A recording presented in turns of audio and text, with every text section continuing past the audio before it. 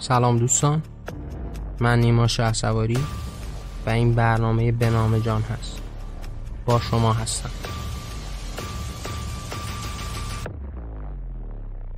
این قسمت چهارم از ویژه برنامه شناخت اسلام هست و ما قرار هست توی این قسمت درباره حدیث با هم صحبت کنیم. ممنون که همراه من هستید. خب دوستان در اون برنامه پیشگفتاری که پیرامون شناخت اسلام با هم صحبت کردیم من باهاتون چند موضوع رو مطرح کردم که میشه اسلام رو باهاشون شناخت. یکی از این موضوعات هم حدیث بود. یکی از راههایی که ما رو می‌تونه به شناخت بهتر اسلام برسونه. خب قاعدتا حدیث هم یکی از این عناوین محکم و قدرتمند در بین مسلمون ها هست. در ابتدای امر هم بهتر هستش که ما در باب اینکه اصلا حدیث چیست یه صحبتی با هم داشته باشیم حدیث رو به مجموعه روایاتی میگن که از یکی از این بزرگان دین بیان شده باشه. حالا بین اهل سنت این بزرگ دین عموما برمیگرده به محمد پیامبر اسلام محمد ابن عبدالله. یعنی این احادیث غالبا از زبان محمد بیان میشه. اینکه محمد در باب موضوعات مختلف چه نظری داشته و چه صحبت هایی داشته. حالا اینکه اهل سنت محمد رو به نوعی معصوم قلمداد نمی کنند و اون رو هم بنده خداوند می‌دونند باعث میشه که این احادیث جنبه همتای قرآن نداشته باشه. اما خب قاعدتا با ارزش است. یعنی یکی از راههایی است که بهش اتکا می‌کنن. پس ما حدیث رو کلامی می‌دونیم که از زبان محمد روایت شده باشه. حالا در بین اهل سنت در بین شیعیان هم هم محمد هست و هم دیگر ائمه و معصومینی که حالا شیعیان بهشون معتقدن.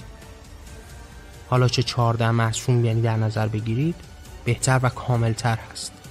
اون ائمه که همه می‌شناسند از امام علی شیعیان در نظر بگیرید تا امام زمانی که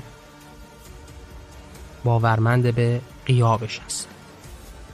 از این کلام هایی که این سخنانی که راوی اون و بیانگر اون یکی از این افراد باشند رو حدیث میدون این احادیث اصولا سینه به سینه نقل شده. یعنی قالب این احادیث رو به این شکل میگن که به عنوان مثال حسن به قاسم مثلا نمی‌دونم قاسم به رضا گفت که اون رضا از مثلا حضرت محمد شنیده بود. یعنی یک سندی رو هم در کنار این حدیث همواره ذکر می‌کنند این راویان حدیث. که من از کی شنیدم و اون آدم از کی شنیده بود تا این آدم ها به هم وصل بشن تا در نهایت برسند به اون شخصیتی که در اون ابتدای امر اون حدیث رو ذکر کرده بوده.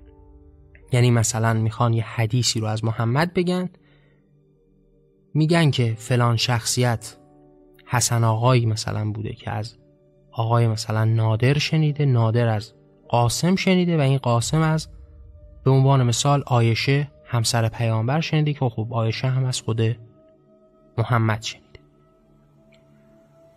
و این سند همواره در کنار این حدیث نقل میشه.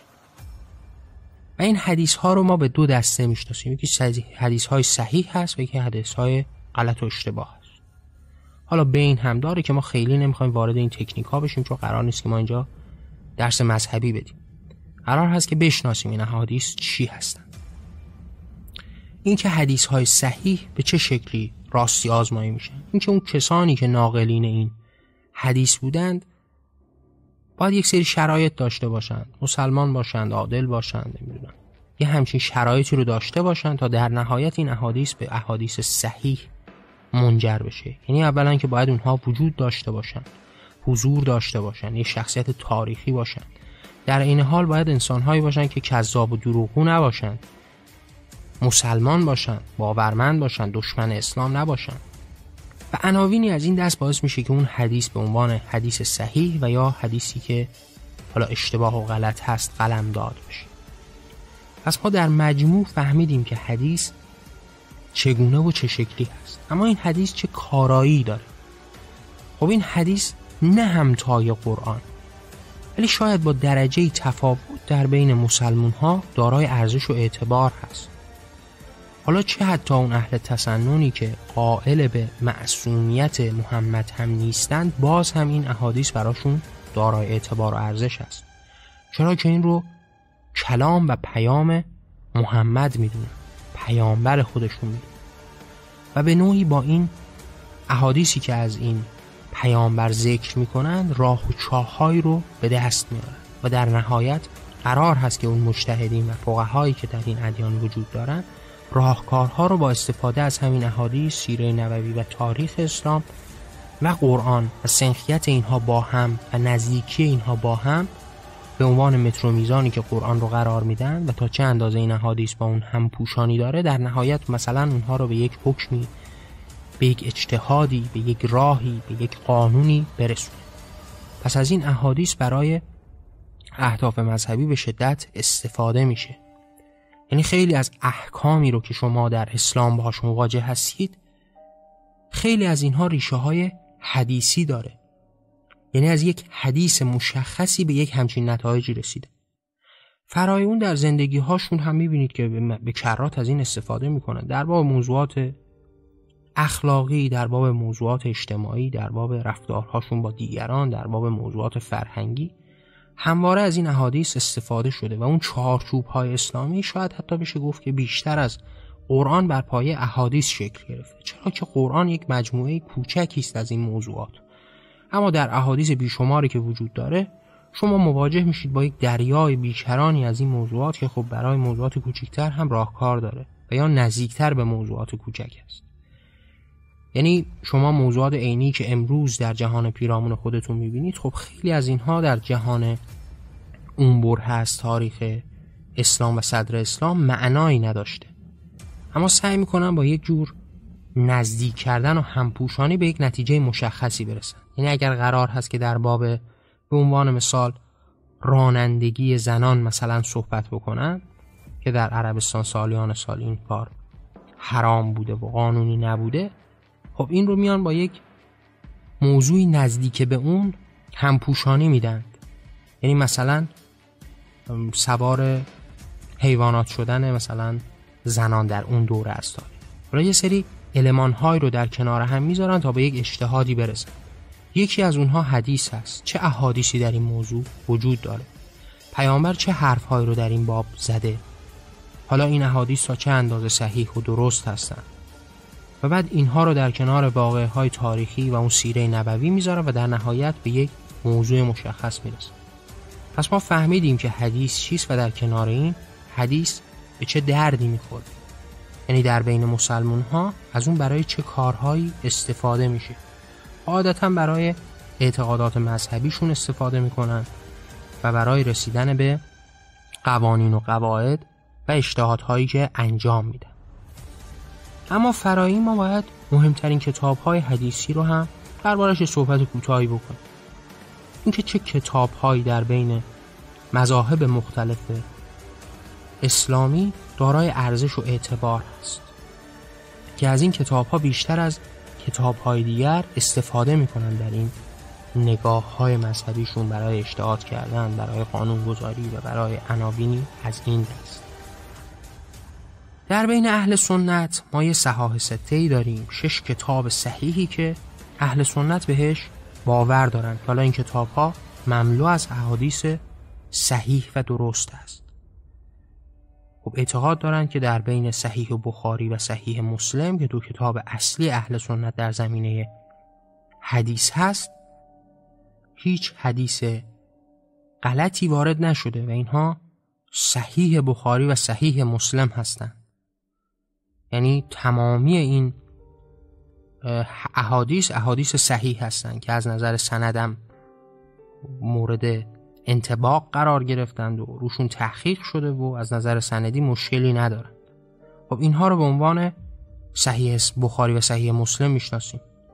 حالا هرچند که برخی هم به اونها هم ایراداتی گرفتند اما موضوع مهم ما نیست و ما در باب قالب اینها داریم صحبت پس در بین اهل سنت شش کتاب حدیثی صحیح وجود داره که بهش به نوعی ارجاع داده میشه. یکی صحیح بخاری هست یکی صحیح مسلم که خب قاعدتا معروف ترین ها هست صحیح ترین ها هست قابل وسوخ ترین ها هست و بیشتر این مکاتب مذهبی حالا اجتهادهاشون قوانینشون رو از این کتاب ها می‌گیرن. به جز اون سنن ابی داوود هست سنن ابی داوود هست سنن ابن ماجه هست سنن ترمزی هست و سنن نسایی. این شش کتاب شش کتاب اصلی اهل سنت است. که صحیح بخاری و صحیح مسلم رو گفتم که بیشتر و بیشتر مد نظرشون است. اما در مذهب شیعه هم چهار کتاب هست که به عنوان کتاب های منبع و مرجع حساب میشه و حالا اهل تشیع هم به نوعی به صحیح بودن این احادیث باور دارن. یک کتاب کافی هست ملا یزرح فقیه هست تحذیب الاحکام هست و الاستبصار فیما اختلف مل اخبار هست. و این چهار کتاب هم نزد شیعیان کتاب های اصلی حدیثی به حساب این که تا چه اندازه در بین این کتاب ها حدیث صحیح وجود داره و حدیث اشتباه وجود داره هم مورد اختلاف است. و گفتم بهتون اینها یک زوابطی دارند برای اینکه یک حدیثی رو صحیح بدونن و یا اشتباه بدونن که برمیگرده به راویان این احادیث.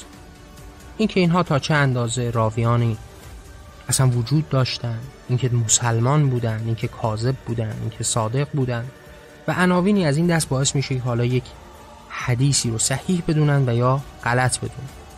اما این ده کتابی که در بین اهل سنت و تشیع دربارش صحبت شد جز صحیح ترین این کتاب ها هستن که متفق القول حالا مسلمانان و مؤمنان به این دو مذهب به این کتاب ها باور دارند. پس این کتاب های مهم هست. اما اینکه ارزش این کتاب ها تا چه اندازه هستم من براتون یه توضیح مختصری دادم. اما باید در همین حد بگم که ببینید شما با یک کتاب قرآنی مواجه هستید که خب 300 و خورده ای صفحه هست. خب این کتاب قاعدتا قدرت این رو نداره که در باب تمام موضوعات صحبت بکنه. و من بهتون گفتم که برای فقها و اصولا این مکتب فکری اسلامی چندین راه و طریقت وجود داره تا به یک اجتهادی برسند. یک موضوعی رو تبدیل به حرام و حلال بکنن یک چیزی رو تبدیل به قانون و قاعده بکنن یکی از این بنیانهای قدرتمند شاید بعد از قرآن مطمئنا حدیث است. یعنی تاریخ و سیره نبوی یکی از این ارکان هست. و قاعدتا حدیث هم یکی از این ارکان هست. شاید با یک درجه اختلاف بعد از قرآن این احادیث هست که میداندار هستند. حالا کسانی که مورد وسوق این باورها هستند به ویژه محمد به عنوان پیام آور این دین در باب موضوعات مختلف هم صحبت کرده نظر داده. یعنی شما در باب مثلا خیلی از موضوعات جزئی که امروز می‌بینید بر پایه یک سری از احادیث به یک سری از قوانین رسیدن. پس این ارزش بسیاری داره. این احادیث راویان بیشماری هم داره. اما یکی از بزرگترین راویان این احادیث خب همسر پیغمبر هست. یعنی شما با آیشه روبرو میشید که بیشترین راوی احادیث از محمد هست. خب قاعده منطقیش هم همین هستی یعنی شما با یک همسری روبرو هستید که سعولی محمد به حساب میاد. محمد از همه همسرانش نسبت به اون علاقه بیشتری داره زمان بیشتری رو با اون میگذرونه با اون بیشتر صحبت می‌کنه. خب قاعدتا اون احادیثی که قرار هست از محمد هم بیان بشه توسط همون همسر محبوبش هم بیان میشه که در بین اهل سنت هم شما مواجه میشید با احادیث بیشماری که از آیشه نقل شده و راوی این احادیث آیشه بوده حالا این در بین شیعیان اختلاف هست و اونها حدیثی رو از آیشه نقل نمی کنن. چرا که خب آیشه جنگید در برابر علی و این اختلافی که بین شیعه و سنی وجود داره یکی از پایه های قدرتمندش هم همین جنگ بین علی و آیشه هست. پس ما با یک راویانی هم روبرو هستیم که اینها راویان این احادیث هستند. کسانی که به محمد نزدیک بودند از انصار بودند از یاران پیغمبر بودند از اصحاب پیغمبر بودند. و اینها همواره همراهش بودند و این صحبت ها رو نقل کردند. و اینها یک راهکاری داده برای مسلمون ها برای قانونگذاری هاشون و برای اجتهاد هاشون در باب موضوعات مختلف دنیا. این احادیث هم موضوعات مختلفی داره. یعنی شما با بعضی از این کتاب ها روبرو میشید که در باب موضوعات مختلف مثل ایمان مثل بهشت و جهنم حالا احادیث مختلفی رو روایت کرده. و با کتاب های روبرو میشید که حالا احادیث بیشمار و بسیاری داره که در باب موضوعات مختلف صحبت شده. یعنی از موضوعات قانونی صحبت شده تا موضوعات خیلی جزئی زندگی شخصی. عناوین مختلفی هست که برای هر کدوم هم استناد می‌کنن بهش و ازش استفاده می‌کنن. یعنی در جایی که آیه قرآنی وجود نداره از این احادیث صحیح استفاده می‌کنن برای اینکه یک معنی رو بقبولونن.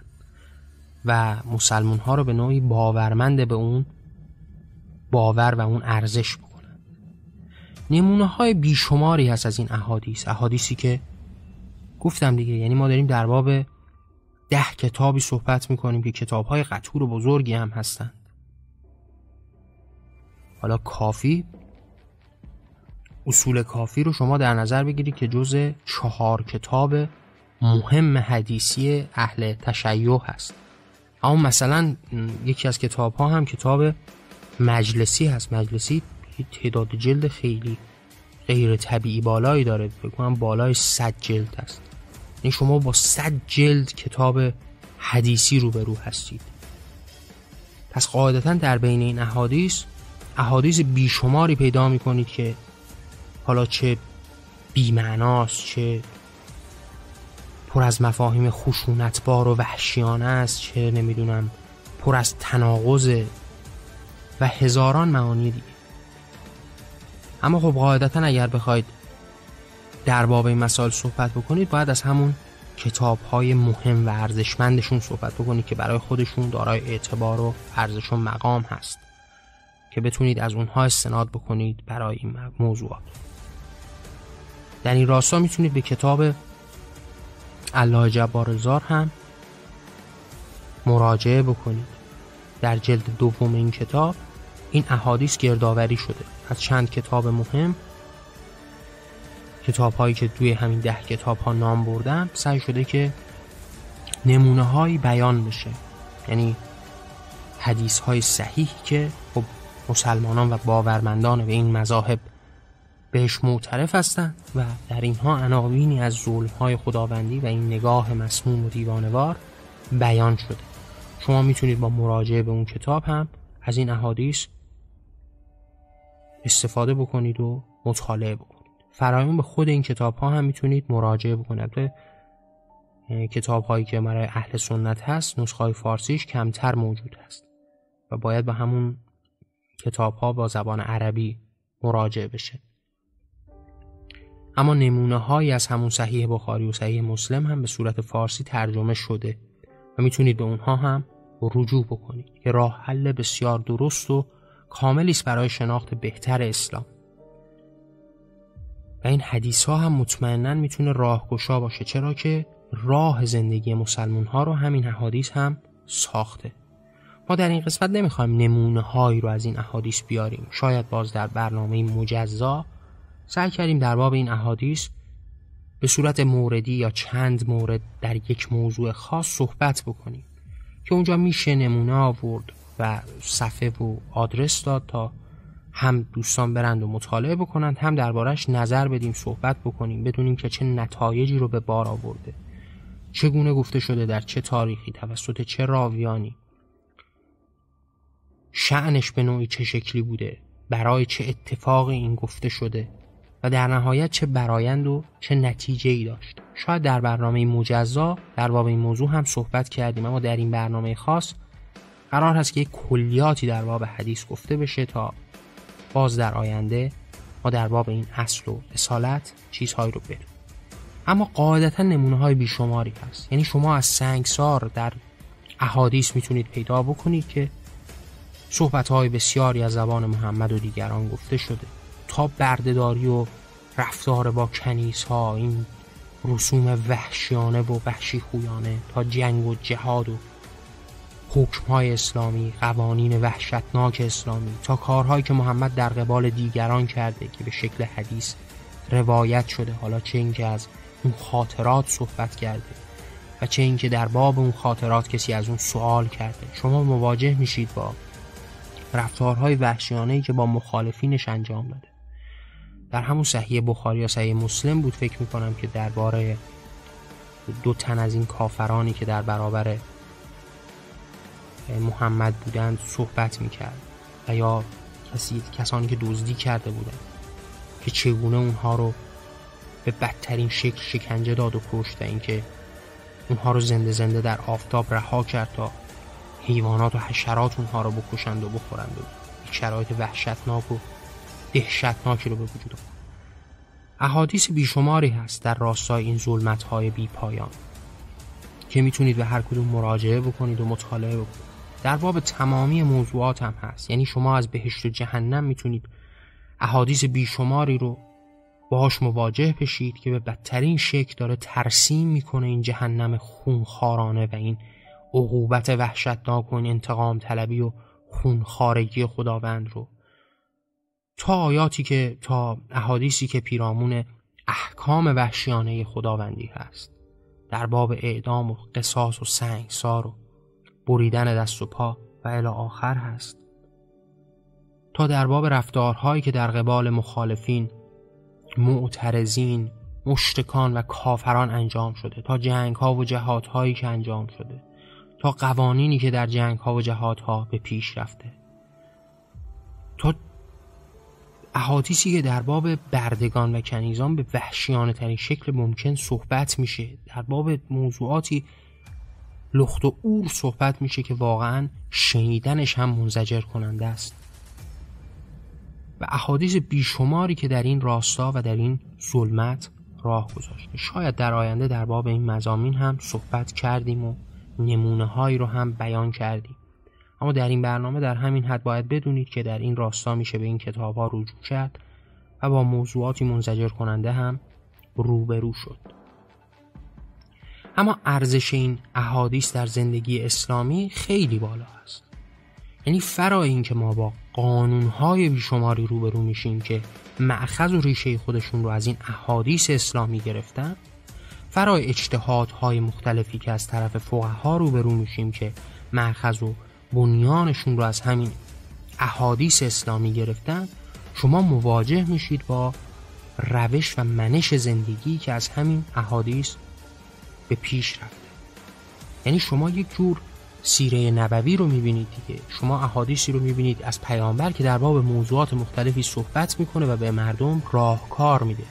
یعنی به عنوان مثال رفتار مردم در قبال بردگان کنیزان و این نگاه وحشیانه و مستدام پیرامون حفظ این نظام و این ارزش بیمار بردهداری در این احادیث بیشمار است.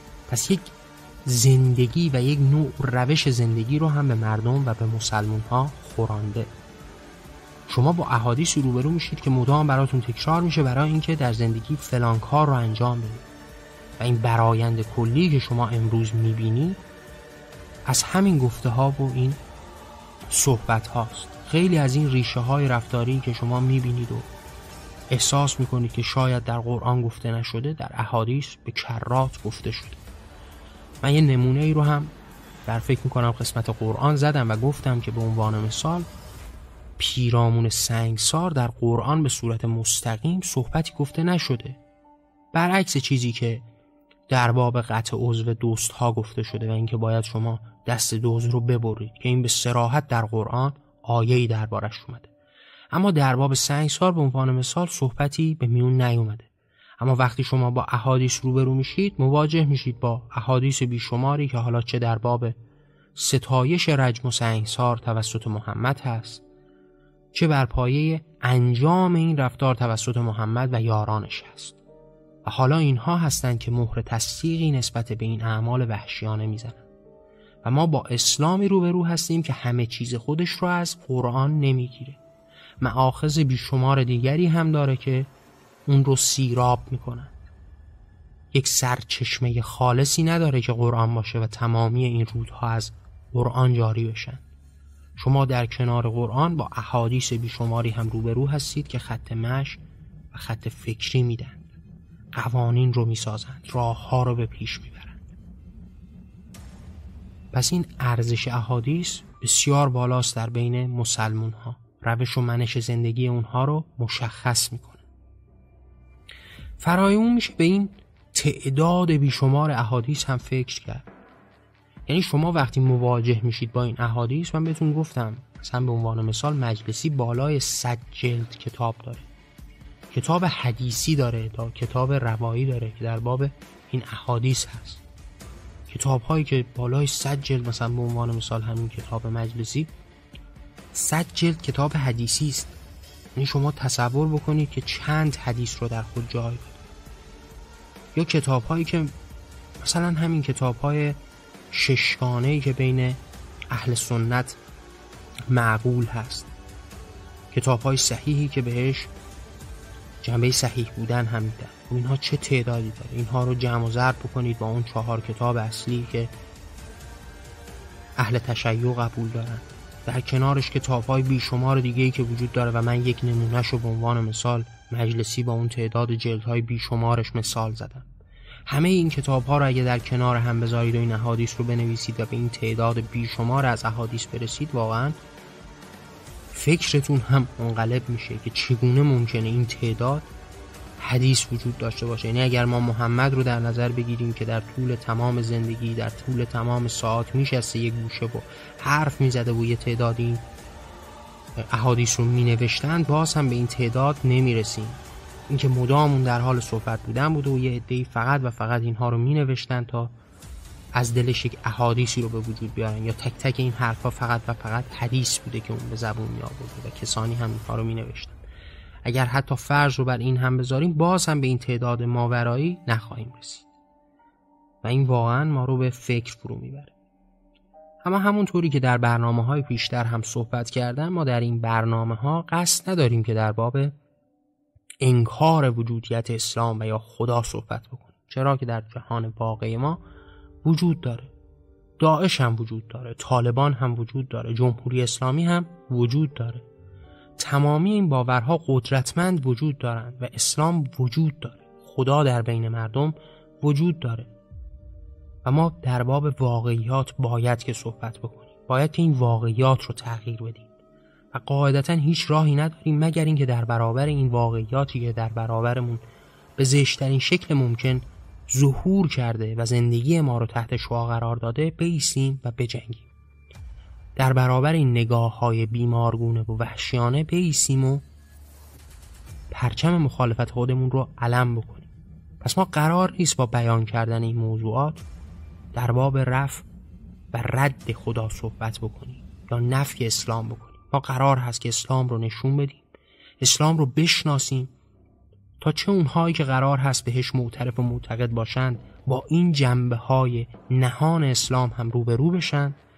و چه اونهایی که در برابرش هستند هم صدا و یک صدا فریاد خودشون رو بلند بکنند برای اینکه این نگاه مسموم و دیوانوار رو کمرنگ بکنند. دست تحمیل و زور اون رو بردارن دست آزار این نگاه رو از سر جهان کم بکنن پس ما قرار هست که در برابر این زور و جبر و ظلم بیستیم.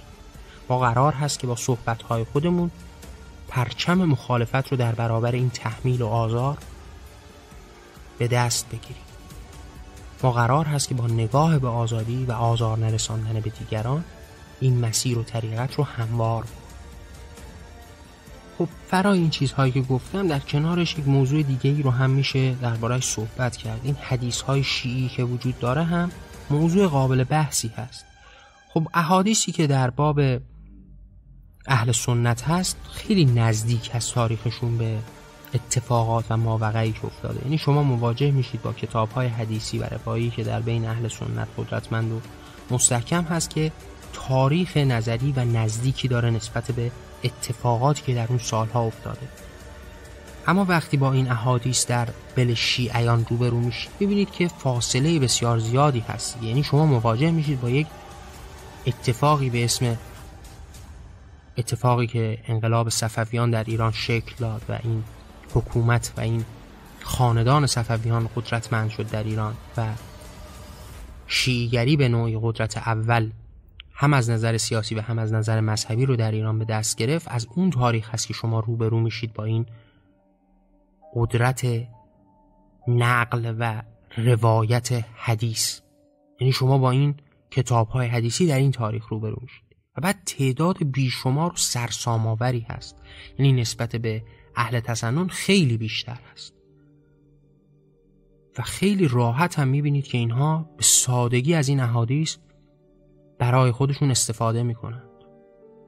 به راحتی نقل به مطلوب خودشون می‌کنند. یعنی بلافاصله در باب هر موضوعی که صحبت می‌کنید حدیثی دارند تا از آستین در بیارند و دربارهش صحبت کنند. به دلیل تعداد بیشمار این احادیث که در این تاریخ صفویان شکل گرفته تاریخ صفویان که سالیان سال با اون صدر اسلام و زندگی اون افرادی که ازشون روایت میشه فاصله داشته.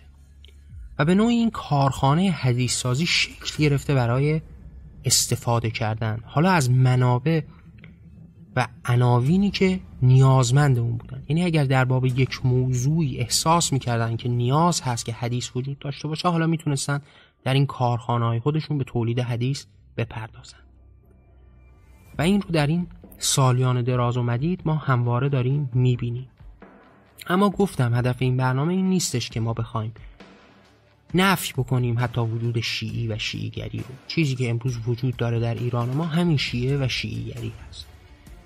و اینکه آیا در حقیقت و واقعیت این باور وجود داره یا نداره موضوع قابل بحث ما نیست. امروز در واقعیت دنیای ما وجود داره و قدرتمند است و ما باید که در برابر اون ایستادگی اما موضوعاتی بود که هم تفکر به این تعداد بالای حدیث ها در بین هر دو قشر چه اهل تسنن و چه اهل تشیع و اینکه تا چه حد می‌تونه واقعی باشه و هم در کنار اون این کارخانه حدیث سازی که از بعد از صفویان شکل گرفت و قدرتمند شد و تعداد بیشماری حدیث رو همواره هی تولید کرد و برای مطلوب هایی که در اختیار این شیوخ بود همواره محتوای تازه‌ای رو تولید کرد هم موضوعاتی هستش که خب قاعدتا وقتی به معقوله حدیث می‌رسیم فکر ما رو درگیر می قاعدتا موضوعات بیشماری هست حدیث های بیشماری هست که ما می‌تونیم دربارهش صحبت بکنیم و این باورهای بیمارگونه و ترویج این نگاه وحشتناک و وحشیانه رو هم در اونها بجوییم. اما قرار نیست که توی این برنامه به این سمت و سو شاید در آتی در باب این موضوع هم برنامه داشتیم. در این برنامه مشخص ما سعی کردیم در باب حدیث و تاریخچه پیدایشش و ارزش و اعتباری که داره بیشتر صحبت بکنیم تا یک راهکاری باشه برای برنامه های آتی و آینده. من در همون ابتدا و در پیشگفتار هم گفتم که در قسمت های آتی که ما قرار هست در باب اسلام صحبت بکنیم راهکارهای شناختمون مشخص است. تاریخ اسلام هست قرآن هست حدیث هست فقه هست. این عناوین در کنار هم ما رو به این نقد میرسونه. و در قسمت های آتی شما مواجه میشید با عناوینی که قرار نیست. من تک تک معخص ها رو به شما بگم. معخص ها همین عناوینی هست که در این قسمت های ابتدایی گفته شد. و در آتیه ما مواجه میشیم با صحبت هایی که در باب این مسائل گفته میشه بدون اینکه مأخذی بخواد براشون بیان میشه. شاید در آتی در باب این معخص ها هم بیشتر صحبت بشه.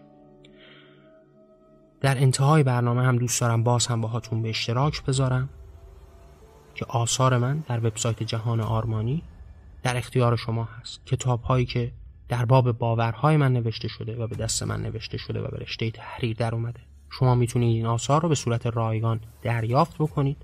و برای کمک و در کنار من موندن هم می‌تونید این آثار رو با دیگران به اشتراک بذارید. حالا چه کتاب ها و چه همین برنامه بنامه جان. ممنون که همراه من بودی. من نیما شه سواری و این برنامه بنامه جان بود. در پناه آزادی.